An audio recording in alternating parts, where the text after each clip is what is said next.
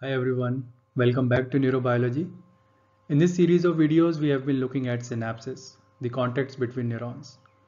In the last video, we looked at electrical synapses, in which the two neurons are directly connected to each other. An electrical signal in the form of charged ions can flow directly from one neuron to the next. In this video, we will look at chemical synapses, in which the neurons are not directly connected to each other. There is a small gap between them and the communication happens in the form of neurotransmitters that are released by one neuron and are received by the next neuron. These kinds of synapses are much more common in the brain, so contacts between neurons are usually chemical synapses, as well as in the peripheral nervous system. The communication between the neurons and muscles happens in the form of chemical synapses. And in fact, if someone uses the term synapse without specifying what, what kind of synapse they are talking about, uh, then it is fair to assume that they are talking about chemical synapses. So here is the standard representation of a chemical synapse. We are looking at two neurons here.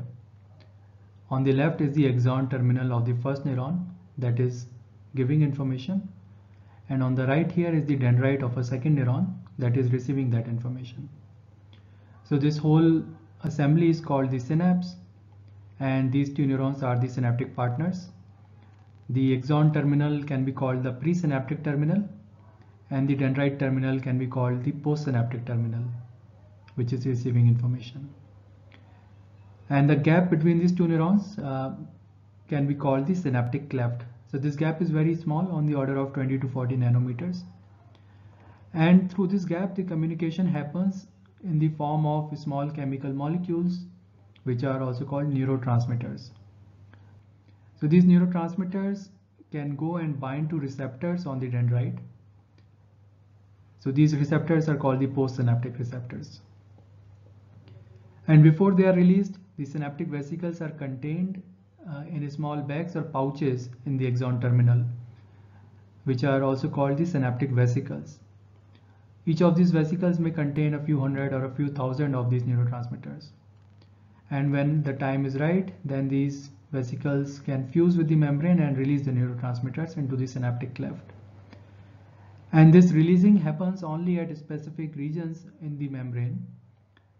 These regions have the required protein machinery that allow this process to happen and these regions are known as the active zones. Now I'm going to show you the real image of a chemical synapse from electron microscopy. And one thing you will immediately notice is that it looks quite different from this diagrammatic representation that we have been seeing so far. The main difference will be in, in the spacing between neurons. So here we see a lot of space around these two neurons. But in the real brain tissue, the neurons are very densely packed against each other and there is hardly any free space. So let's look at it now. So this is a zoomed in image of a slice of brain. This structure here is the first neuron this is the axon terminal and on the other side here is the dendrite of a second neuron. You can see some cell organelles uh, in these neurons. And these small balls here are the synaptic vesicles in the axon terminal. Each of these balls would contain thousands of neurotransmitters. And this very small space here is the synaptic cleft into which the neurotransmitters would be released. So let us look at the processing at a chemical synapse in a bit more detail. We have earlier said that action potentials are important because they allow release of neurotransmitters at a chemical synapse. And here we will understand how that happens. The main link between action potentials and release of neurotransmitters are calcium ions. And this happens because there is a high density of voltage gated calcium channels that are present at the axon terminals on the membrane here. So when action potential reaches here, that raises the membrane potential and that increased membrane potential causes these voltage gated calcium channels to open and so calcium ions can flow into the membrane. Remember that calcium ions are more abundant outside compared to inside so they would like to flow in and also because the inside is negative calcium ions are likely to flow in.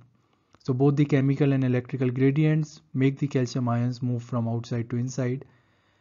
And as these calcium ions come in, They can bind to various proteins that are particularly present at the axon terminals such as synaptotagmin.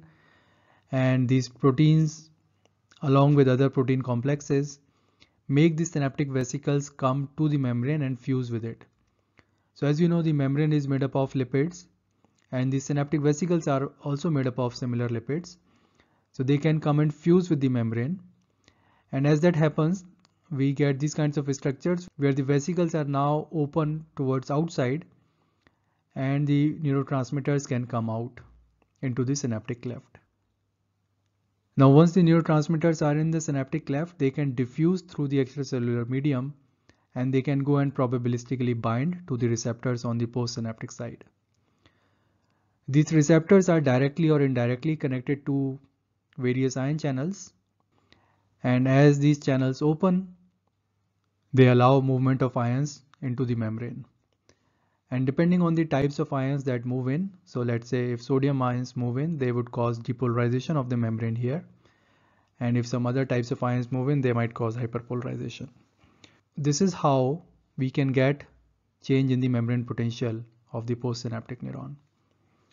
So a change in the membrane potential at the presynaptic neuron triggered by an action potential can result in change in the membrane potential on the postsynaptic neuron. So when the action potential arrives at the axon terminal, the neurotransmitters are released and they can go and bind to the postsynaptic receptors. But we don't want the postsynaptic receptors to be activated forever. We want the communication to happen when the action potential comes. The duration of one action potential is only about a millisecond or so. And so the neurotransmitter should remain in the synaptic cleft for some milliseconds, but then should be cleared up after that then only we will be able to have precisely timed communication between the two neurons. So there are a few mechanisms by which neurotransmitters are cleared up from the synaptic cleft. One of these mechanisms is reuptake. So after the neurotransmitter is released, there are ways in which it can be reuptaken back into the axon terminal. And this happens through specialized proteins that are present on the membrane, uh, which are the transport proteins or the reuptake proteins which move the neurotransmitters back into the neuron and then they can be packed back into the synaptic vesicles. The second mechanism is enzymatic degradation. For this there are specific enzymes in the synaptic cleft that can degrade the neurotransmitters. One such enzyme is cholinesterase that degrades acetylcholine and similarly for other neurotransmitters there are other degrading enzymes. And the third mechanism is simply passive diffusion. So some of the neurotransmitters can diffuse out to longer distances and then these neurotransmitters can be either reuptaken somewhere else or they can be flushed out of the system. So through these various mechanisms, the system is able to remove the neurotransmitters and the synapse can be ready for communication when a new action potential arrives at the axon terminal.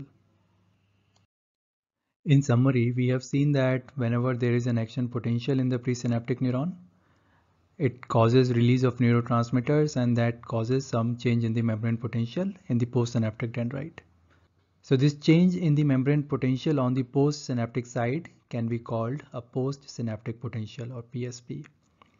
And if this is positive or depolarizing in nature, then it can be called an excitatory postsynaptic potential or EPSP and if it is on the other side that it is inhibitory or hyperpolarizing in nature then it can be called an inhibitory postsynaptic potential or IPSP.